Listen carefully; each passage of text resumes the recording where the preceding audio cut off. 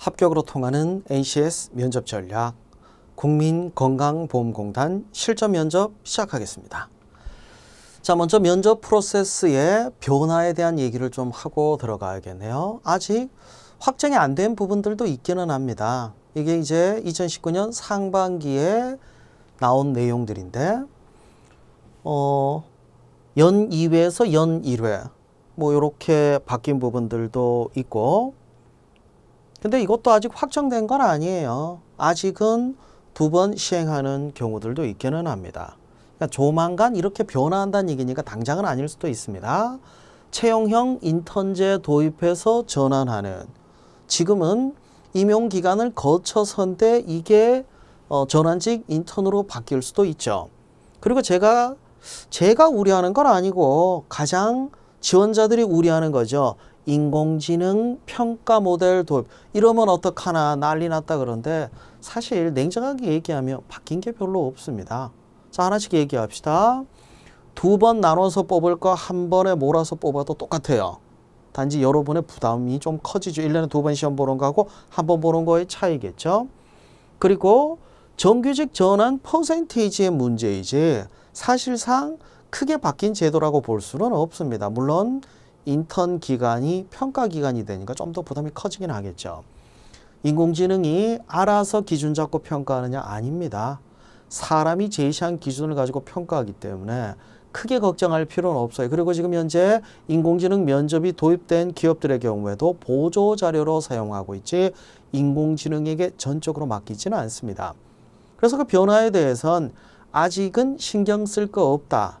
이게 핵심이 아닐까 싶네요. 자, 면접 시험에 대한 얘기 보도록 할게요.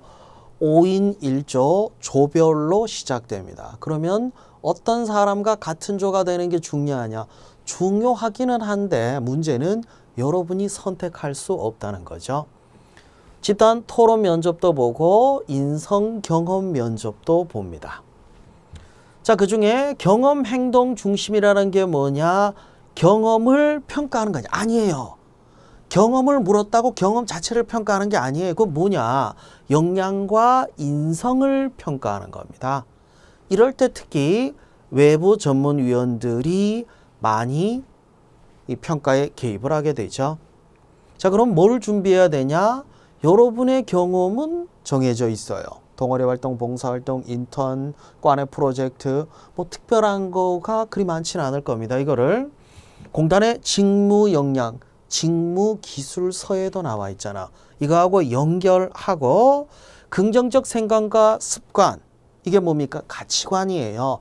저는 부지런합니다. 입증해야죠. 왜 부지런해야 되는지, 내가 부지런한 이유, 그게 가치관이에요. 부지런했다가 아니에요. 나는 하루하루가 나에 대한 평가이고 내가 발전하는 시간이라고 생각하기 때문에 하루도 허투루 사용하지 않고 하루하루를 의미 있게 보내기 위해서 맡은 바 최선을 다했을 뿐만 아니라 어떠어떤 활동을 위해서 하루하루를 충실히 보냈다. 이 가치관 아니에요. 그거 얘기예요.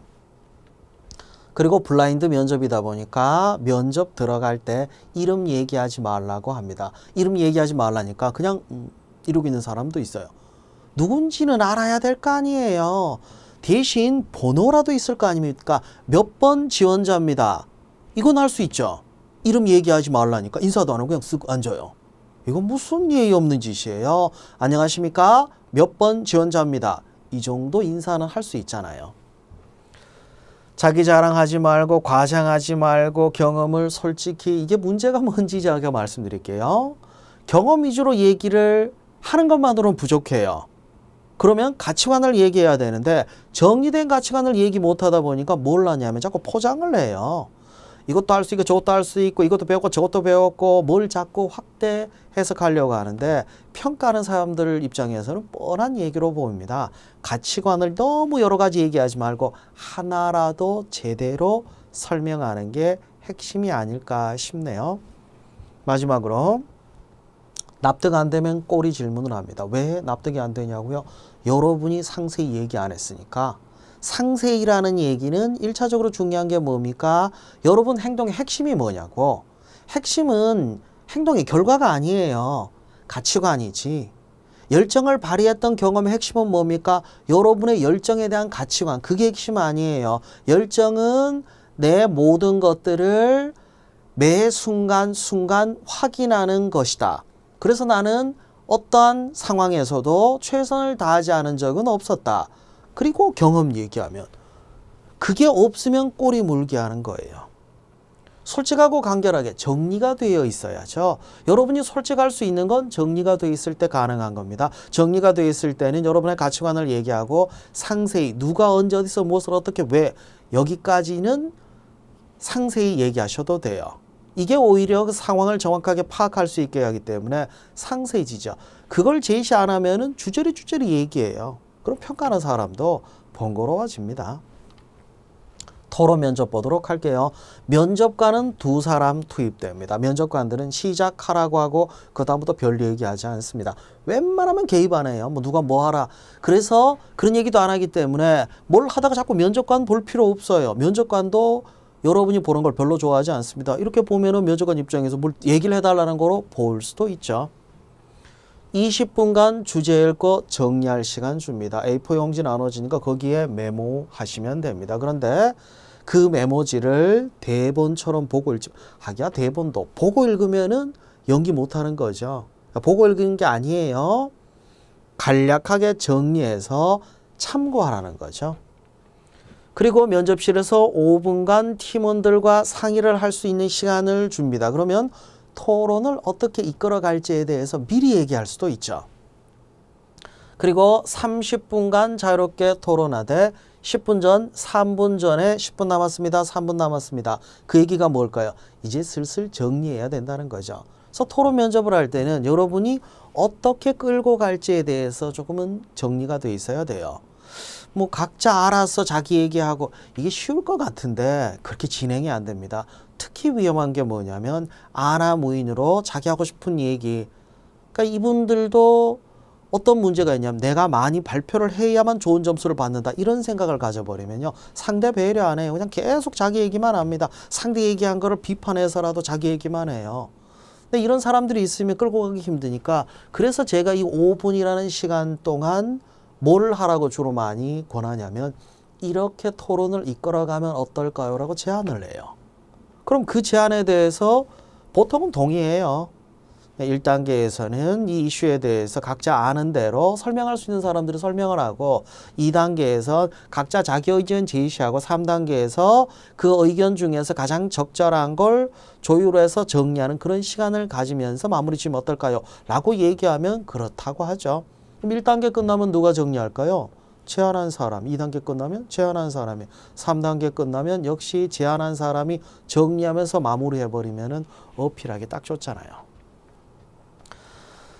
자, 돌아가면서 의견 제시하고 보완하고 합의점 도출하는 이게 말이 쉬워서 그렇지 이 방식대로 해도 되긴 한데 변수가 있기 때문에 가능하면 어떻게 이끌어갈지 제안하라고 말씀드린 거예요.